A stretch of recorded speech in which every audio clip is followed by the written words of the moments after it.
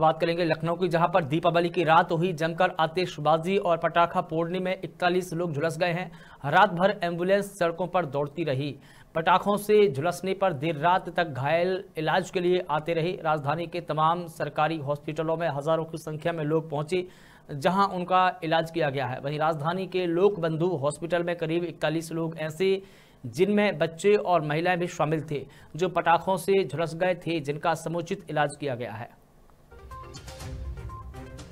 देखिए लोकबंधु अस्पताल में दिवाली के दिन शाम से और पूरे टाइम तक 41 मरीज़ लगभग आए। सभी सामान्य किस्म के जले हुए थे, पटाखे से ही जले थे, लेकिन सामान्य किस्म थे, जिसमें करीब छः बच्चे भी थे और 25 के लगभग में पुरुष थे।